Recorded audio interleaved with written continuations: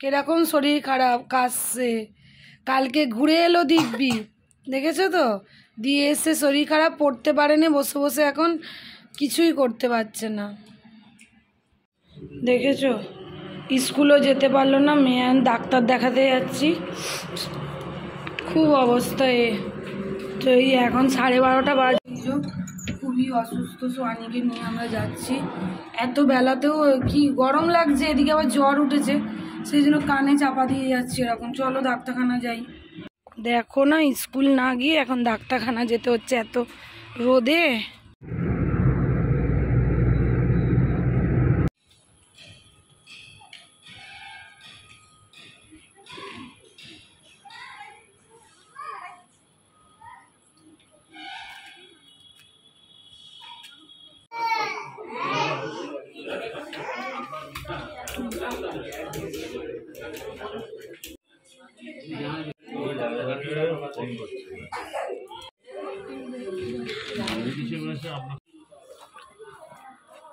নামটা কোথায় লেখা থাকে? এই এই যে দেখো, ডাক্তার দেখিয়ে দিয়ে যাচ্ছি বাচ্চাকে নিয়ে। চলো। শরীর খারাপ কি এই দেখো, এই যে সোয়ানিকে নিয়ে উঠে গেলাম, এই যে ডাক্তার দেখানো হয়ে গেছে। চলে যাচ্ছে এখান থেকে। ভগবানের কৃপায় ওষুধেই ওষুধগুলোই লিখে দিয়েছে। এখন ওগুলো ওষুধগুলো কিনবো গিয়ে। কেননা রান্না হয়নি তো, রান্না শুধু ভাতটা চাপিয়ে দিয়ে চলে এসেছি। বাড়িতে তো কেউ নেই, কি অসুবিধায় পড়েছি। ভাগ্যিস ওর বাবা ছিল বলে আসতে পারলাম। দেখো, বাচ্চাকে এই যে ডাক্তার দেখিয়ে এলাম, কি অবস্থা, রান্না ছেড়ে দিয়ে চলে গেছি। আনাজ কাটতে কাটতে এত একশো তিন জ্বর হয়ে গেছে, ভাতটা করেই চলে গেছি। এতক্ষণে এসে দেখো, বাইরের জামা প্যান্ট পরেই শুয়ে পড়েছে, কি শরীরটাই দেখো। মেয়েটা এসেই গাড়ি থেকে নেমেই বেহুশ ঘুমিয়ে পড়ল। পা দুটোকে কম্বলের ওপর তুলে দিয়েছি, বিছনাটারও কি অবস্থা দেখো।